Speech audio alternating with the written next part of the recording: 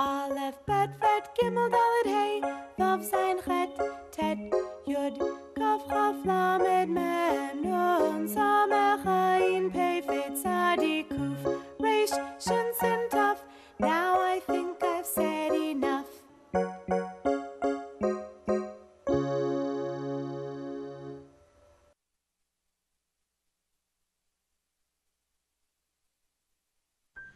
Welcome to another lesson in our series from the Aleph Bet, a series for anyone of any age who wishes to learn the Hebrew alphabet, to be able to read and understand many Hebrew words that are at the heart of Judaism. I'm Mark Golub, and as always, it's a pleasure for me to be with you. And on this lesson, we're going to be taking a look at your first real Hebrew word, not some nonsense word but your first real Hebrew word that you'll be able to read and understand. But first, let's do a quick review before we move on to our next Hebrew letter. If you've been with us for our previous lessons, you've already learned the last two letters of the Hebrew alphabet, the shin and the tuf. And the name of a Hebrew letter tells you the sound that Hebrew letter makes. The shin makes the sh sound of the letters sh in English, and the tuf makes English t sound, t. We also learned that in Hebrew, consonants are letters, like the shin and the tuf, while Hebrew vowels are dots and dashes. And the Hebrew vowels we've learned already are the patach and the kamatz both of which tend to make the same vowel sound ah as in the English word father. And we've also learned that Hebrew vowels tend to be placed under or over Hebrew letters. Both the patach and the kamatz are placed under Hebrew letters. And because Hebrew is read down and then from right to left, a Hebrew syllable is read simply by adding a vowel sound to the Hebrew letter above that vowel to create a Hebrew syllable. So this Hebrew syllable is pronounced Shah. The shin makes the sh sound, and the patach under the shin makes the ah sound. And by adding ah to the letter shin, we get the syllable Shah. And basically, that's how simple it is to look at a Hebrew syllable and be able to pronounce it. That's what it means to be able to read in the sense of pronouncing Hebrew words. And we've also learned a rule to reading Hebrew that makes it especially easy to pronounce Hebrew words. Every Hebrew syllable has one vowel, must have one vowel, and only one vowel. Never more, never fewer there's always a one to one correlation between the number of Hebrew vowels in a word and the number of syllables in that Hebrew word. Count the number of vowels in a Hebrew word, and you immediately know how many syllables are in that Hebrew word. It's always the same number. So if a Hebrew word has one vowel, it has one syllable. If a Hebrew word has two vowels, it has two syllables. Three vowels, three syllables which is about as many syllables as Hebrew words tend to have. There are a few Hebrew words which have four vowels and therefore four syllables, but that's very rare. By the way, English does not work that way at all. There are many syllables with more than one vowel. There even was a final Jeopardy question recently asked where contestants were asked to identify an English word with four vowels in a row and it's a one syllable word with four vowels in a row. Can you imagine an English word with four vowels in a row? The English word is queue, as in a line of people waiting to do something like buy a movie ticket. Queue is a one syllable English word with four vowels in that one syllable. Never in Hebrew. Hebrew is a very organized, logical, even mathematical language, and in Hebrew, every syllable has one vowel, always one vowel, never more than one vowel, never fewer. Every Hebrew syllable must have one vowel and can only have one vowel. So in this syllable, there is one vowel, the patach, and the syllable is pronounced, reading down, sha. And similarly, this syllable with a kamatz is also pronounced sha. And this nonsense word has two vowels and therefore two syllables, so that reading down and then reading right to left, this nonsense word is pronounced sha sha.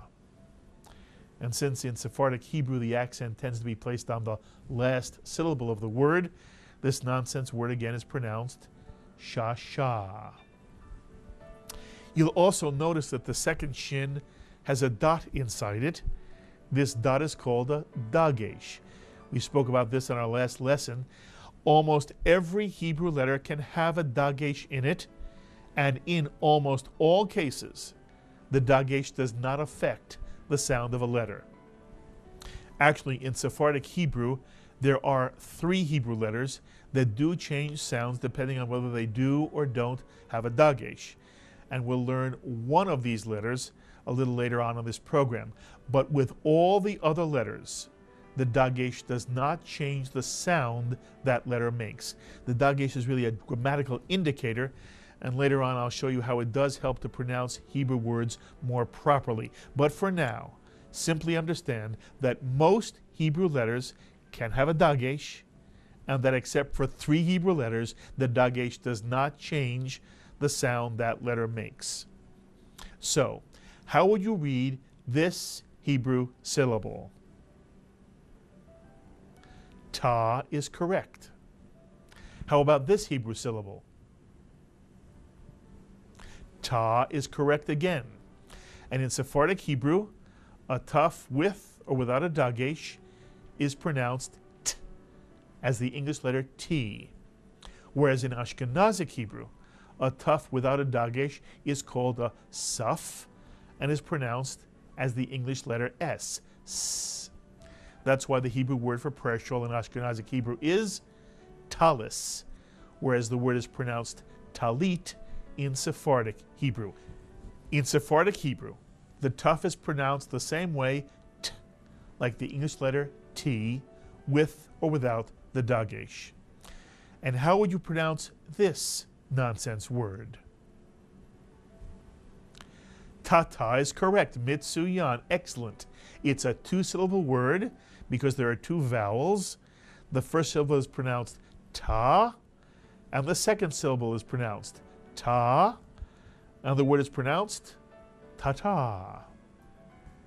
How about this nonsense word? Shata is correct. The first syllable is pronounced sha, the second syllable is pronounced ta, and the word is pronounced shata. So, how about this nonsense word? Take your time. How many vowels are in this nonsense word? That'll tell you how many syllables are in the word. Then pronounce the word syllable by syllable. If you pronounce this word tashata, you are absolutely correct. Mitsuyan, the first syllable is pronounced ta, the second syllable is pronounced sha, and the third syllable is pronounced ta. And this nonsense word is simply pronounced tasha ta. So now it's time to learn your next Hebrew letter. It's the second letter of the Hebrew alphabet. It's the letter bet. And take a good look at this letter, especially the bottom of the letter. When I'm teaching children this letter, bet, I point out that the bottom of the letter is like a bed. This is the bed. And I call the dagesh inside the bet a ball. The bet is built on a bed and has a ball inside. And uh, Alan suggested we even call this a bunk bed. It's a bunk bed. Somebody could sleep up here, somebody could sleep down here. And in the bunk bed, we hang a ball. Anyway, this is the bet. It is pronounced as the English letter B. It makes the B sound, the English letter B. And the reason I stress the ball inside of this bet is because this letter, the bet, is one of the three Hebrew letters which does change when it appears without a dagesh. If one takes the ball out of the bet, the dagesh out of the bet, it changes the sound this letter makes. Actually, without a dagesh, the letter bet is pronounced like the English letter V, V, rather than B. But for now, we're only going to learn the letter bet with the dagesh, and this letter bet is pronounced B, like the English letter B. So, how would you pronounce this Hebrew syllable? Ba is correct. How about this nonsense word? Baba is correct, mitsuyan. How about this nonsense word? Ba ba ba is correct, mitsuyan, mitsuyan. Okay, how about this nonsense word? Take your time. Obviously, there are three vowels, uh, three syllables. So, how would you pronounce the first syllable? How would you pronounce the second syllable? And how would you pronounce the third syllable? Then simply string the three syllables together, and you would pronounce this nonsense word Batasha. Mitsuyan, Mitsuyan. The first syllable is Ba, the second syllable is Ta, and the third syllable is Sha, and this nonsense word is pronounced Batasha. And this is basically how Hebrew is pronounced. Though in our last lesson, I also showed you the secret to pronouncing any Hebrew word, and that secret is the Shva. And to quickly remind you about the Shva, the Shva is the only set of dots in Hebrew which are not a vowel. And I taught you this rule last week. A Shva is never counted as a vowel. Never, never. There are few things in life which are truly never. The Shva is never counted as a vowel. I cannot say this often enough because it's the secret to being able to pronounce any Hebrew word you see. The Shva is never counted as a vowel, even when the Shva makes a vowel sound. And sometimes the Shva is pronounced as a short I, I, as in the word fish in English. But even when the Shva makes a vowel sound, a Shva is never counted as a vowel. And every Hebrew letter must have, does have, either a vowel or a shva. And I want to say that again. It's another important Hebrew rule. Every Hebrew letter must either have a vowel or a shva. Every Hebrew letter of every word does have either a vowel or a shva. But a shva is never counted as a vowel. And if a shva is silent, which is the shva we're learning first, if a shva is silent, what does it do? What's the point of a silent shva? And we learned last time that the silent shva tells us which letter ends a Hebrew syllable. Technically, we say a silent shva closes a syllable. Either way, a silent shva ends or closes a Hebrew syllable. Let's take a look at how the silent shva operates. In this nonsense word, each letter has a vowel. So this nonsense word is pronounced tasha. But in this Hebrew word, the shin no longer has a vowel, instead it has a silent shva. And when a letter has a silent shva, the letter over the silent shva ends the Hebrew syllable. It ends the preceding syllable. So in this nonsense word, the syllable ta is extended to include the shin with the silent shva, and the entire syllable is now pronounced tash. The ta is extended to include the shin with the silent shva under it, and the shin with the silent shva ends or closes the entire syllable. So, how would you read this syllable? Ba is correct. And how would you read this syllable? Bash is correct because the shin has a silent shva under it, so that the shin now ends or closes the entire syllable. Try another one. How would you read this? Shah is correct. Now, how about this? Shat is correct. Mitsuyan, the tuf has a silent shva under it, so the tuf ends or closes the syllable which begins with a shin and a kamatz. Okay, how about this nonsense word? How many vowels are in this nonsense word? If you said two, you are correct. The patach under the bet and the kamatz under the shin. The tuf has a shva, and the shva is never counted as a vowel. So there are only two vowels in this word, and therefore there are two syllables in this word. What's the first syllable? If you said ba, you are correct. The first syllable is the bet with a patach under it. Ba. Now, what's the second syllable? Of this nonsense word. And if you said shot, you are correct. Again, mitsuyan, the shin begins the second syllable of this nonsense word. It has a kamatz under it. But the shin with a kamatz is followed by a tuf with a silent shva. And a silent shva always extends a syllable and ends that syllable. And therefore, the second syllable of this nonsense word is shot. Shot. And the entire word is pronounced bashat. Bashat. This two syllable nonsense word is pronounced bashat. By the way, I also taught you last time that if a silent shva comes under the last letter of a word, it doesn't actually have to be written because it's understood to be there even if it's not written.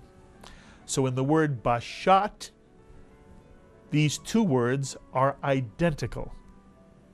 Since every Hebrew letter must have either a vowel or a shva, since every Hebrew letter does have either a vowel or a shva, anytime you see a Hebrew letter at the end of a word without something under it, you know it must be a silent shva and that the silent shva simply is not being written because it's understood to be there. So again, in these two words, they're pronounced exactly the same way, bashat. With or without a silent shva being written, both words are pronounced bashat. So, now you're ready to learn your first real Hebrew word. So far, we've only been working with nonsense words, nonsense syllables strung together. But here is your first real Hebrew word. And before I show it to you, I want you to know the word you're about to see is the most important single word in the living experience of the Jewish people. It's possible to say that this word you're about to read and understand is the most important word in the Jewish tradition. And this is the word. Can you read this word? It has two vowels, so it obviously has two syllables. How would you pronounce this real Hebrew word? And for many of you, maybe for most of you, it's a word you know. And if you said Shabbat, Mitsuyan, you are absolutely correct. the word is Shabbat. The first syllable is Shah.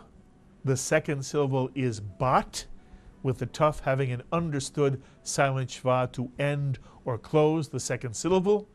And this two syllable word is read Shabbat. And it's the most important word in the living experience of the Jewish people. And what does the word Shabbat mean? I mean, really mean? Well, I want to begin to teach you one more thing about the Hebrew language that'll help you understand what the word Shabbat really means. In Hebrew, words tend to be built upon three root letters. Virtually every Hebrew word has a three letter root. And if you know what the root of a word is, you'll always have an idea of what the word means. And I'll give you examples of how this works as we continue to learn together. But for now, just understand Hebrew words tend to be made up of three root letters. And if you know the meaning of the three letter root, it'll always help you understand what a word with that three letter root means. So in this case, with the word Shabbat, the three letter root is Shin, Bet, and Tuf. And the meaning of this three letter root always has something to do with resting. Whenever these three letters, Shin, Bet, Tuf, appear in this order as the root of a Hebrew word, the Hebrew word always will have something to do with resting. And when you create a noun with this three letter root, shin, bet, tuf, it refers to a time for resting.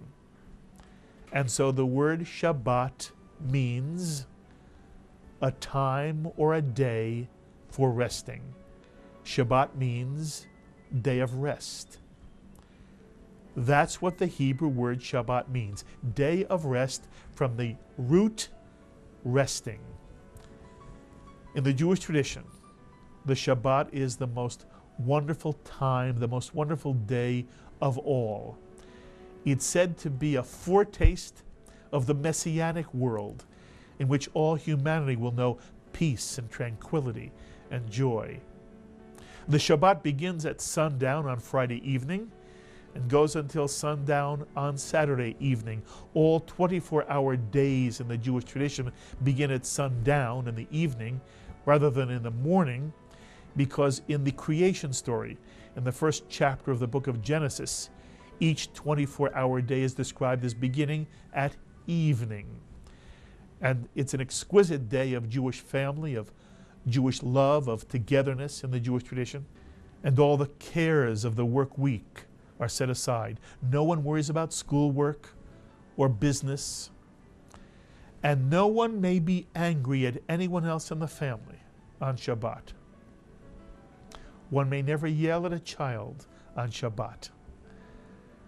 One is even free from being angry at the evils and injustices of the world on Shabbat. On Shabbat, on this exquisite day of rest, one is even free from working to improve the human condition. On Shabbat, everyone gets to rest, to refresh one's soul. And the family has a chance to spend time together in joy. And there are blessings sung to start the Shabbat, the blessing over candles in anticipation of the holiday, a kiddush that blesses and begins the Shabbat recited with a cup of wine is a symbol of joy of the Shabbat. A blessing over the challah, the braided bread of Shabbat.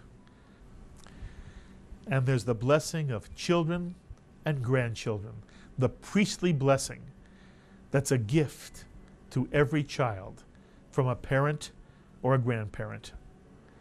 And the Shabbat is all about laughter and good conversation and then doing whatever a family enjoys doing together. There's nothing like Shabbat, this day of rest. I get goose pimples even talking about it. In the sense that this is a day set apart from all the tumult and anxiety of everyday life. Creation itself gets to rest on the Shabbat, so that nothing is supposed to be built or destroyed on Shabbat. And so that husbands and wives have a moment to renew bonds of love. And parents and children have a moment to appreciate how wonderful life is together. And Shabbat is the time when the Jewish community, the Jewish people, the Jewish family renews its commitment to Torah and to each other. The Jewish tradition says that one who observes the Shabbat is given credit for having observed all 613 Jewish commandments. And one of the most well known and profound of Jewish truths, stated by the great Jewish poet of the early 20th century, Achad Ha'am. The truth is, more than the Jews have kept the Shabbat, the Shabbat has kept the Jews. The reason the word Shabbat is the most important word in the living experience of the Jewish people is that the Shabbat has been and remains the center of Jewish life. Everything in Jewish life is compared to the Shabbat as the quintessential Jewish experience.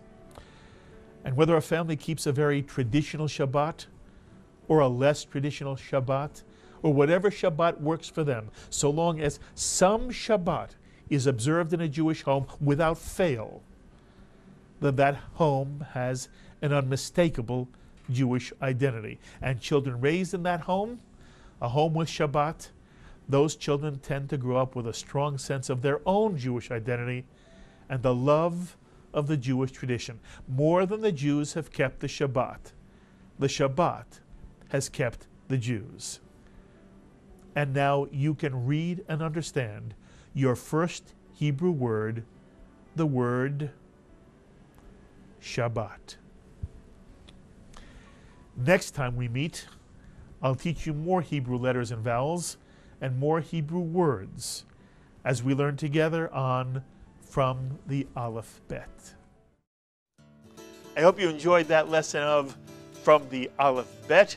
And remember, you can download lesson sheets and worksheets for every lesson of this series free of charge. Just visit the JBS website homepage at jbstv.org and click on the program icon for From the Aleph Bet. And then click on the very first option, From the Aleph Bet Hebrew Study Sheets. And for anyone who can send JBS a tax-deductible donation of $180 or more, we'll be pleased to send you the entire 20-program Series 1 of From the Aleph Bet on DVD, complete with a CD of lesson sheets and worksheets. JBS, Expanding Jewish Understanding, celebrating all things Jewish. Be well, my friends. Alef, Bet, Vet, Gimel, Dalet, Hey, Vav, Sein, Chet, Tet, Yud, kaf Chaf, Lamed, Mem, Nun, Samech, Ein, Pei, Fet, Sadi, Kuf, Reish, Shin, Sin, Tov. Now I think I've said enough.